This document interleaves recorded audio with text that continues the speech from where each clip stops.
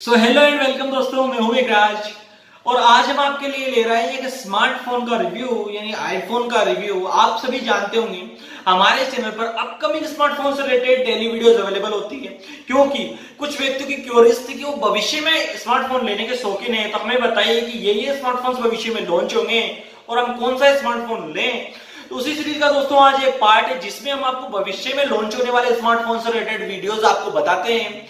दोस्तों, आज उसी सीरीज़ में हम आपके लिए एक स्मार्टफ़ोन यानी आईफोन का रिव्यू ले रहे हैं। अगर आप इस आईफोन के रिव्यू को देखना चाहते हैं तो कंप्लीटली इस वीडियो को वॉच ज़रूर करें। तो चलिए आईफोन का नाम आप सभी जानते होंगे iPhone S E two iPhone का एस ई e पहले से अवेलेबल है। एस ई टू भविष्य में लॉन्च होगा। तो दोस्तों लॉन्च कब होगा? क्या प्राइस रहेगी? और इसमें क्या क्या फैसिलिटीज़ हमको मिलेगी? सब कुछ आज की इस वीडियो में आपको मिलेगी और प्राइस क्या रहेगी? प्राइस मुझे काफ़ी हद तक इसकी बढ़िया लगी नॉर्मल यूजेज का नॉर्मल प्राइस है चलिए शुरू करते हैं आज की इस वीडियो को। दोस्तों, आपको अगर हमारी वीडियो पसंद आए तो इस वीडियो को लाइक करें चैनल को सब्सक्राइब करें, घंटे को दबाएँ ऑल प्रेस करें हमारी वीडियो सबसे पहले देखने के लिए। तो हम बात करी जाए इस स्मार्टफ़ोन की डिस्प्ले बेस की। किसी भी स्मार्टफ़ोन का डिस्प्ले एक अहम हिस्सा होता है। डिस्प्ले एक मेन हिस्सा होता है। तो हम डिस्प्ले से ही इस स्मार्टफ़ोन की बात करते हैं। डिस्प्ले आपको इसके अंदर चार पॉइंट यानी 4.7 इंच की डिस्प्ले मिलती है, जो नॉर्मल डिस्प्ले है। दोस्तों, इतनी ज़्यादा हाई डिस्प्ले नहीं है। अब बात करते हैं पिक्सल डेंसिटी 426 नहीं है। 326 पिक्सल डेंसिटी आपको इसके अंदर मिलती है। जो कुछ हद तक बढ़िया है। वैसे पिक्सल डेंसिटी काफ़ी हद तक बढ़िया लगी, मुझे ऐसा क्यों लगा है? क्योंकि इसकी डिस्प्ले साइज़ कम है, इस हिसाब से इसकी पिक्सल डेंसिटी भी थोड़ी बढ़िया है। अब बात करते हैं स्मार्टफ़ोन की कैमरा की।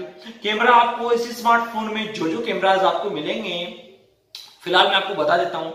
जो कि मेन कैमरा है बैक कैमरा होता है, वो सिंगल कैमरा सपोर्ट आपको इसके अंदर दिया जाएगा, जो कि 12 मेगापिक्सल का होगा, कुछ हद तक जाए। फ्रंट की बात करते हैं सेल्फी कैमरा की तो 5 मेगापिक्सल का दिया जाएगा 5 मेगापिक्सल जो काफ़ी हद तक बढ़िया है अब बात करते हैं इस स्मार्टफ़ोन के अदर चीज़ों की। अदर चीज़ों में हम बात कर लेते हैं बैटरी की, क्योंकि आईफोन में सबसे मेन प्रॉब्लम यही होती है। आईफोन के अंदर बैटरी हमें बहुत कम मिलती है तो आईफोन चलता बहुत कम है और हम लेके पछताते हैं। आईफोन हमारे किसी काम का नहीं, क्योंकि जब उसका परफॉर्मेंस तो बढ़िया है, लेकिन बैटरी इतनी ज़्यादा नहीं है तो क्या काम का आईफोन है? अब बात कर लेते हैं बैटरी की।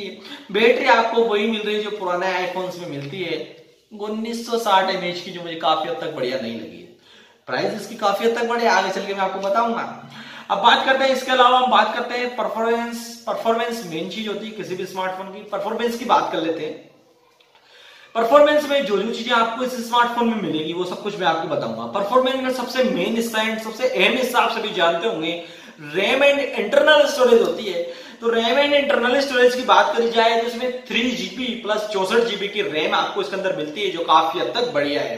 रैम मुझे काफ़ी हद तक बढ़िया लगी। अब बात करते हैं परफॉर्मेंस में चिपसेट की। चिपसेट आपको इसके अंदर एप्पल का ही मिलता है, क्योंकि एप्पल अपनी खुद के चिपसेट बनाता है। एप्पल का ए थर्टी बायोनिक एप्पल का मिलता है, जो काफ़ी हद तक बढ़िया है। हायर परफॉर्मेंस में भी आपको यही मिल रहा है। अभी बात करते हैं आईफोन ट्वेल्व की। ट्वेल्व प्रो की तो उसमें भी यही मिल रहा है। और बात कर लेते हैं इस स्मार्टफ़ोन की परफॉर्मेंस में आपको काफ़ी हद तक कोई कॉम्प्रोमाइज नहीं है, काफ़ी हद तक बढ़िया है, लेकिन बैटरी मुझे काफ़ी हद तक कम लगी। परफॉर्मेंस के अलावा बात करते हैं इसकी प्रोसेसर की। प्रोसेसर को अंदर इसमें हेक्सा कोर का प्रोसेसर मिलता है। हेक्सा कोर का 2.65 जो काफ़ी हद तक बढ़िया है। इसके सपोर्ट के तौर पर ड्यूअल कोर का 1.8 जीगाहर्ट्ज अल्टस का उसके अंदर दिया जाता है, जो काफ़ी हद तक बढ़िया है। अब बात कर लेते हैं भाई साहब जीपीयू ग्राफिक्स की ग्राफिक्स हम बहुत ज़्यादा यूज़ करते हैं गेम खेलने में। ग्राफिक्स की बात करी जाए दोस्तों ग्राफिक्स भी एप्पल अपने खुद के बनाता है। एप्पल जीपीयू आपको इसके अंदर मिलता है, जो कि फोर कोर ग्राफिक्स होता है, जो काफ़ी हद तक बढ़िया है। हायर परफॉर्मेंस में भी, महँगे से महँगे फ़ोन में भी आजकल ज्ञान आ रहा है और सस्ते सस्ते में भी आ रहा है तो काफ़ी हद तक बढ़िया है। प्राइस की बात कर लेते हैं। प्राइस दोस्तों एक्सपेक्टेड है, फ़िलहाल इसकी एक्चुअल प्राइस अभी नहीं आई है। प्राइस इसकी बताई जा रही है दोस्तों, सत्ताईस हज़ार नौ सौ नब्बे रुपए। कितनी? सत्ताईस, two seven nine nine zero.